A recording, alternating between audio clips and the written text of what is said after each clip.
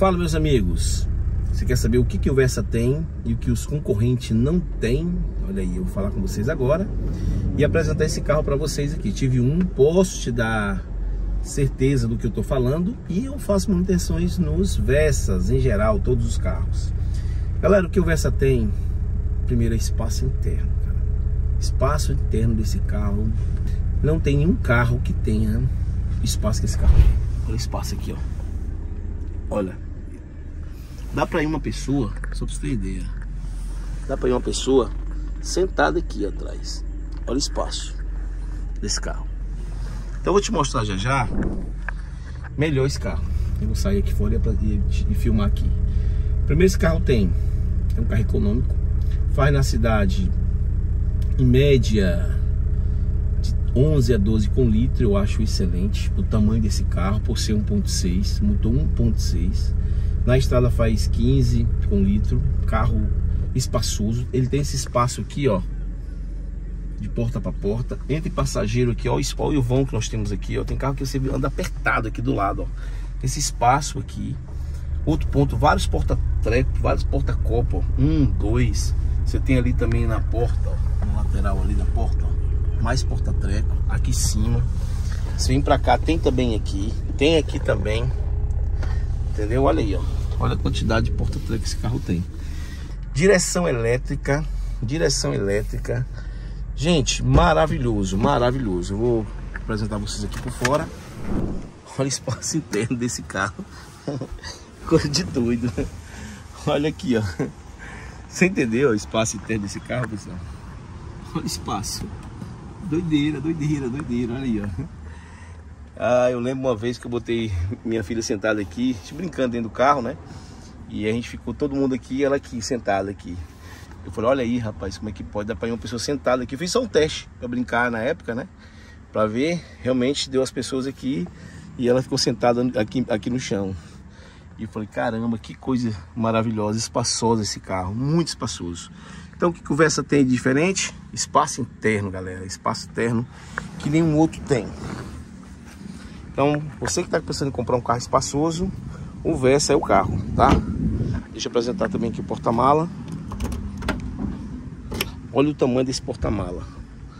Olha o tamanho desse porta-mala. Vou colocar a quantidade de litros para você ter uma ideia desse porta-mala. Muito grande, sem falar. Outro ponto positivo que esse carro tem, quero te apresentar aqui dentro, olha aí, ó. Você pode carregar um monte de coisa aqui dentro, do lado do pneu, ó. Dá pra você colocar a caixa aqui, pegar um peixinho, de repente alguma coisa não quer é, é, como se sujar o carro, você pode colocar aqui, ó. Olha que maravilha, olha que maravilha. Então é isso aqui que o que as pessoas estiver procurando espaço interno é que o Versa tem, certo? O Versa tem isso. Não é um carro tão belo, mas com esse rack aqui atrás deixou o carro mais bonito. Esse rack aqui atrás deixou o carro muito top mesmo, muito top mesmo. Tá aí. Com o rec traseiro, deixou o carro diferente, né? Essa cuta linda, essa versão com a roda é, diamantada ficou top. Essa frente cromada, né, com detalhe de fora de neblina, mas essa parte da grade, só esse aqui é uma versão unique, tá bom? Unique. Mas vamos falar do próprio Versa em geral, é um bom carro, independente se é o Nick ou não o Nick, tá? Eu quero falar do Versa, do Versa, tá? Do Versa. Pessoal, vamos comigo agora, deixar esse carro na transportadora. É... Zé Ferreira vai receber esse carro em Vitória da Conquista.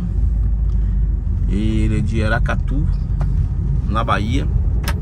E aí vocês vão comigo agora ter a transportadora. Edviano me fala do carro. Gente, ele é um carro macio, não é um carro tão baixo, você entra no carro e sente, se sente lá embaixo, não é. Ele tem uma saída boa, vou pisar aqui, ó, o desempenho dele é muito bom, ó, rápido, muito rápido. Direção elétrica, excelente, excelente mesmo. É uma direção elétrica, gente, é progressiva, tá? Quando você aumenta a velocidade, ele vai ficando pesado a direção, tá? Não fica leve não, tá? Leve é quando você tá parado. Aí você vai fazer uma baliza, né? Aí você precisa de uma direção leve. Aí a direção desse carro aqui é direção elétrica. Então você tem aí um carro para andar. Então assim, é o que eu falo, bato, rebato direto aqui sobre o espaço desse carro. São um conjunto de obra, né? Ele tem um espaço interno bom, é, a direção de dirigir dele é muito boa, econômico, leve. Você passar o dia dirigindo um carro desse aqui é muito bom, é leve, é leve. Motor de direção elétrica ajuda muito isso, né? Tem um motor potente também, também ajuda demais, né? Então ele tem isso, ele tem um conjunto, né? Espaço, motor bom, é, direção elétrica, não é baixo, é alto, a posição de dirigir dele é boa, ele não encosta fácil é, em lombada, é, em é, locais que tem ondulações que você pode encostar o para-choque, ele não é um carro baixo, entendeu? Ele tem, ele tem um desempenho muito bom se você precisar fazer uma arrancada, se você precisar que o carro tenha um desempenho bom, de imediato ele te dá isso. Aqui ó, vou dar uma aceleradazinha, ó. Olha aí ó, o carro. Eu vou diminuir aqui porque o outro tá ali na frente. Mas anda muito esse carro, anda muito. Para 1.6 é o carro que eu, eu comprei. Depois eu troquei por um Sonic, me arrependi. Eu queria um carro automático e acabei comprando o Sonic automático. Mas na realidade eu financei o Sonic, não podia é, voltar, né? Assim logo. E aí, mas o Versa, ele foi o carro que me proporcionou assim, realmente a pegada dele é, é diferente. Então, tá aí você que tá pensando em comprar um carrinho sedã, um carrinho bom, eu indico para você aqui o Versa. É o carro. Então estamos aqui indo para a transportadora. E aí eu vou dirigindo aqui com o carro e você vendo aí a caminhada, né? Cara, é gostoso demais, cara. É muito bom dirigir esse carro, muito bom. É, você não falou de peça, manutenção. Pronto, vou falar manutenção, galera. A manutenção dele é um pouco pesada em alguns itens, tá? Alguns itens dele não é tão barato, mas proporcional ao carro, que não é um carro de entrada, um carro intermediário acima do carro de entrada. Ele não é intermediário na categoria, porque intermediário é o Corolla, o Sentra, o Fluence, o C4 Lounge, né? Esse carro aí é o intermediário. É, já ele aqui, ele sobe uma categoria acima do Prisma, do HB20, né? Do Onix, do Ford Ka, desses carros aí. Esse carro concorre com, com que carro? Ele concorre com o Cobalt, ele concorre com o Honda City. É a categoria desse carro aqui na, na hora de comprar o carro, em termos de preço, né? É esse carro. Então, é, quando você for comprar as peças dele, não vai comparar a Prisma, a HB20, a Onix, a Ford K não, tá? Você tem que comparar a Honda Fit ao, ao Cobalt, tá? Aí sim, aí você tem um carro que ele, ele tá dentro do padrão desses carros aí, em termos de, de peça, tá? Então é só isso que vocês podem de repente se assustar, porque o cara vende um carro com um Prisma HB20, né? Esse segmento de carro aí é Gran Siena. Aí de repente toma um susto quando vai comprar as peças que é um pouco mais relevada. Mas se você for comparar também com os concorrentes, também tá na mesma pegada, né? Tá na mesma pegada. Então não vai mudar não, tá?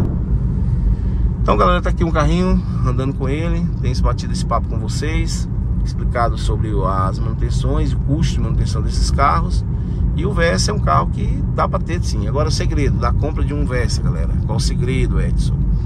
O segredo, galera, é você saber comprar O segredo da, de um carro bom é saber comprar Você fez uma boa compra, você tem um bom carro não fez uma boa compra, infelizmente vai ter um carro cheio de problema. Ah, o carro não presta, não é o carro, é a compra errada que você fez. A compra errada que você fez, felizmente, fez com que você comprasse uma bomba.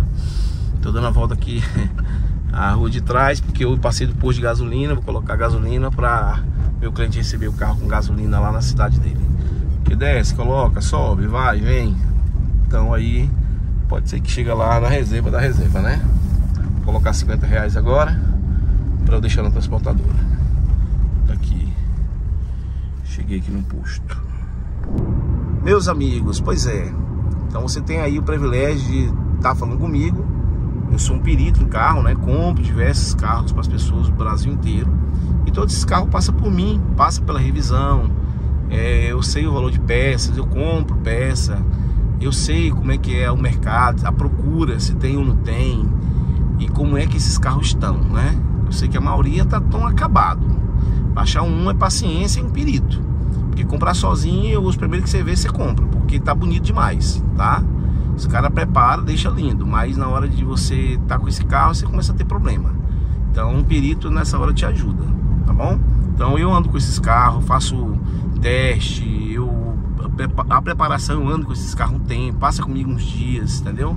Até eu, quando terminar, quem mora no Ceará recebe aqui na empresa ou como aqui eu tô fazendo agora, deixando na transportadora, ele vai ser embarcado, acredito de hoje para amanhã, ele já vai embora, lá pra, pra Bahia, pra Bahia. Aí galera, ó, quantidade de carreta aí, ó, que eles mandam direto. Eu acho que a carreta que vai, vai ser aquela ali que tá aquela Hilux de cima, acho que é aquela ali que vai para Bahia. Show? Então aqui com vocês, satisfação. Acabei de chegar e falo com vocês, uma boa dica. Quer comprar um Versa? Compre. É um bom carro, tá bom? Compre que é um bom carro, não vai se arrepender. Depois fala aí comigo aí no canal e fala, Edson, comprei por causa de você, não tô gostando. eu tô gostando, tá bom? Eu tenho certeza que vai gostar, porque eu sei quando o carro é bom. De tanto eu andar em diversos carros, eu sei quando o carro é bom. E esse é um carro bom. Valeu.